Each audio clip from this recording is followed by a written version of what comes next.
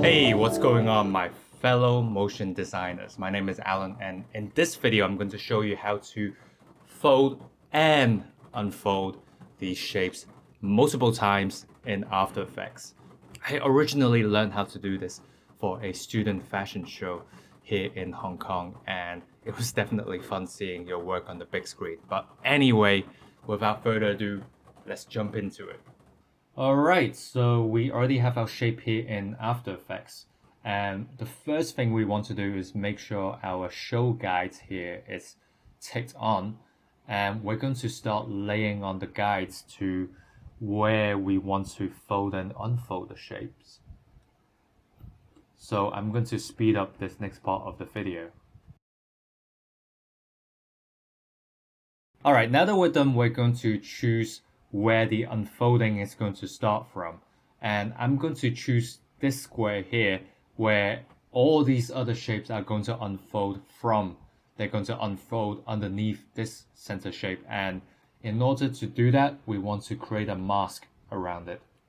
So have our rectangle tool selected and make sure the masking tool is also selected and we're going to create a mask around this guide we, we created as best as we can.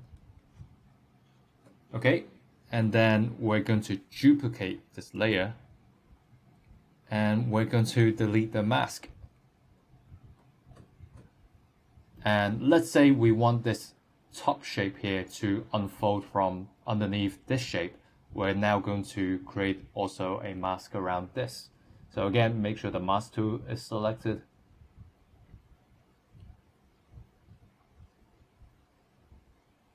and here we go.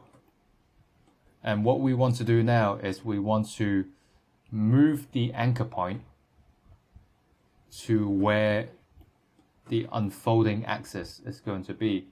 So this is why we had these guidelines. And now we're going to turn this into a 3D layer.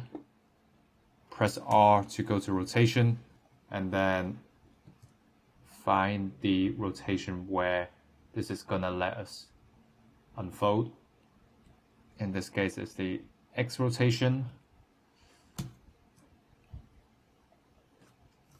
And voila, we have our first unfolding shape. And I'm just going to repeat this for the next shape on top here. So again, duplicate and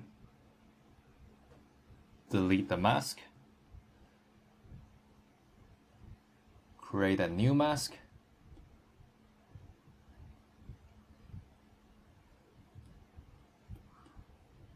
temporarily turn off the 3D so we can adjust the anchor points again.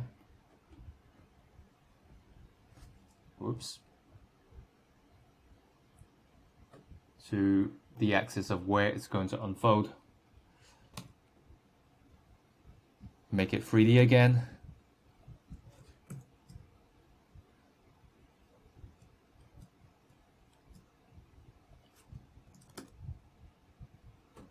And set the keyframes. And now we should have two folding shapes here. And if we want to make it clean and hide the shape, we can just drag our timeline like this. And there we go, we have this unfolding shape. And I'm just gonna do one more here on the right. Again, turn off the mask, make it 2D again, and create a new mask.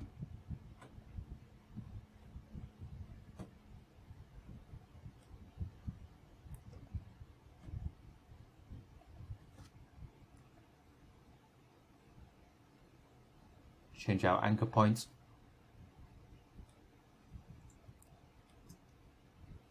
Make it 3D.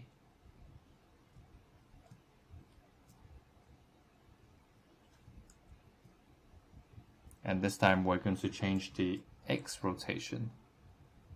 Nope. incorrect. We're going to change the Y rotation.